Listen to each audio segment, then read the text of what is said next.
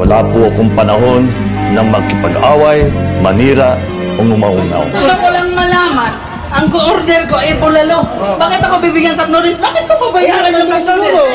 Yung buong gobyerno, yung buong gobyerno lahat ng kakayahan, lahat ng kwarta, lahat ng ginagawa pwedeng gawin ay ginawa hindi sa isang kandidato bilang Pangulo. Ginawa nila pangkontra sa isang kandidato bilang Vice Presidente. ang inyong abang lingkod.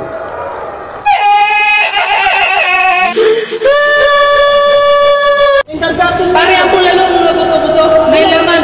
Pare, sinusuntok. Sinusunod ang mula naman eh. Ang notice para notice. Sinusunod. Notice. Wala rin po akong panahon para magyabang o mangako lamang. Bongbong Marcos po. Gago! Kaya nung panahon pa nung aking ama, talagang pinadinidevelop natin na mabuti ang ating ekonomiya, No comment na po ako dyan. ang ating agrikultura, lahat. Yun ang hinanap talaga na magkaroon ng sapat na supply ng kuryente. Kaya lahat ng iba't ibang teknolohiya noon ay pinag-aralan. Magic. Una, dahil marami tayong ilog, ay hydroelectric plant. Magic. Sir, yung iba daw yung diploma sa degree, that there's a difference daw po. So you said you got a diploma. Iba-ibang solusyon ang naiisip. Kaya naman, natupad ang maunlad na buhay sa mga Ilocano. Ang solusyon sa presyo at trabaho, ang aimi ko.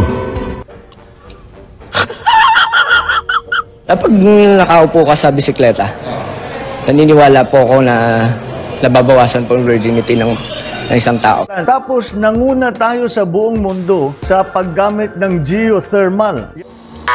Wala kang awa! Ginawa mo akong troso!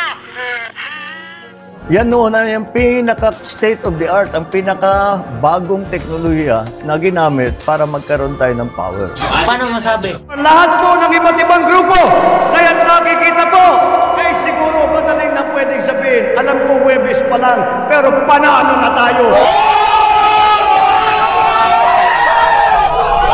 Na dahil, dahil sa kani, sa, ka, sa,